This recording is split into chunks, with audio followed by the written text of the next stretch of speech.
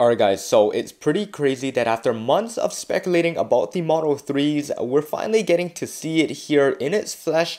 And if you guys haven't already watched my previous video about the Model 3 leak and the spy shot, please check that out. I'll drop a link in the description below as well as a link right up top there. Now in that video, you guys know how excited I was as soon as I saw an updated front end. That is what I've been asking for for a very long time and finally Tesla is listening and finally it's here. Now, before we begin this video here, I do just want to put it out there that I did run a community poll and it was a mixed feeling between everyone. Now, I did notice how a bunch of you guys do prefer the old design over the new one just because of how iconic it is and how it makes it stand out over every other vehicle. Now, even though I personally like the new design, it doesn't change the fact that the old design is really nice up until this point. It really has kept its modern feel. However, it's been five years now and I do really think that it's time to have something new. And then there's the rest of you guys that do really love the new design just like I do. And I do think that this is something that they're probably going to be working on refining a little bit. So we're not completely sure if this is going to make its way into production. Now, one thing I do hope is that Tesla will come out with a design that will cater towards both sides of the spectrum. And maybe, just maybe in the future, they might come out with something like a hatchback or a coupe back version of the Model 3. Alright, Alright, so enough of that. Let's jump on into the sweet stuff here and some of the things that I've noticed throughout the hours after I posted the previous video. Now, with all this going on, we just got confirmation directly from Tesla Tesla scope, which did get another confirmation from an employee within Tesla, confirming that there is going to be a really big change for the Model 3 and the headlight is going to be redesigned completely. Now, I typically would take this with a grain of salt. However, this is Tesla Scope and it seems like this Twitter page does have some kind of internal connection uh, with Tesla employees. It seems like the communication between Tesla scope and this employee is through text messages and it shows that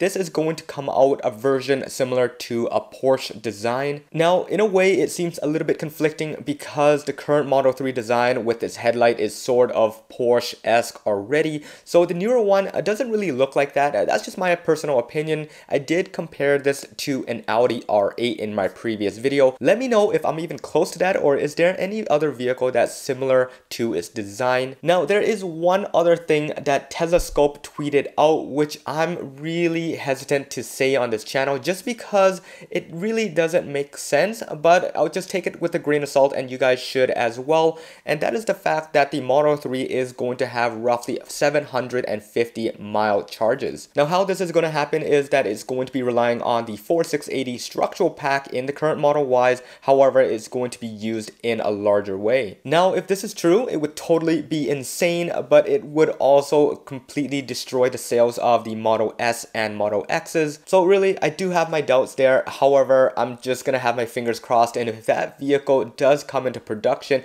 it's totally gonna destroy every other EV on the market. Alright, so let's talk about the current design here and what the biggest changes is gonna be going between the one that you guys are seeing on the roads today versus the one that you're gonna see in a couple months down down the line. So first things first, we're going to be seeing a whole front end design change and we're probably going to be seeing a rear end design change as well. But so far, the uncovering only shows that we're going to be getting a revamped headlight, revamped bumper, and revamped hood. And there are some other signs of the fenders and the interior changes, which we'll talk about in a little bit here. Now, if you guys were to ask me if the current design is a timeless design vehicle, like maybe the RS5 or maybe maybe the Lexus LFA, I would definitely say it is not. It is a good looking vehicle, however, it's just not one of those vehicles that can last a decade and still look just as good as it was when it first launched. If you guys want to talk about a timeless design in terms of EVs, I do think the Model S is one of those vehicles that looked fantastic then and it still does now. So really, this is the perfect time to be switching from that design to this new design. Alright, now moving on to the interior and we have some pretty interesting stuff that just came out in the last couple hours here, but let's just quickly talk about what we know so far with the current and the new design. Now, if we compare the Model 3 current design to similars of the Model S and X back in the days,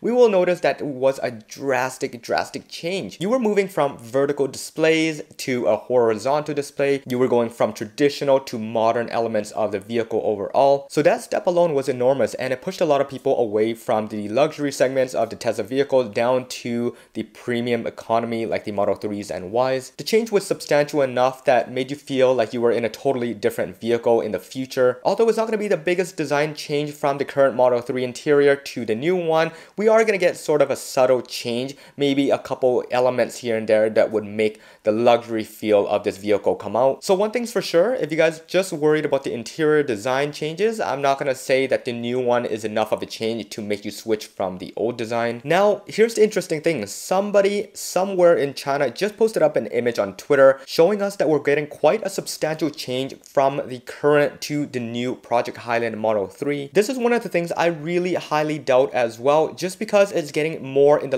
lines of the luxury segments, and we're seeing this only in the Model S's and X's. From the picture, it shows that we are getting the instrument cluster for the Model 3, as well as a yoke and a larger display. Now, a lot of you guys are probably just going to say that this is the interior of the Model S. However, if you guys take a look at some of the dimensions and the size, it is definitely not the Model S. But if somehow this is magically true, we are gonna get one of the best looking Model 3s in the world or in every single sedan segment there is. Alright, now let's go on to the exterior here of the current design. Now the exterior wasn't that bad, however I did complain about minor things here and there that might not even be that critical to other people. But the positive is they went away from the fake grille and now they just have a purely flush front bumper. The trunk area and the tail light looks pretty nice with the diffused LED lights which the Model S has just recently got. So there's quite a bit of good things that I'm not going to be able to list all in this video here, but there was quite a few things that you would want to switch from even the luxury segment over to the Model 3. But there was also quite a few gripes I had with the Model 3 and that also moved on to the Model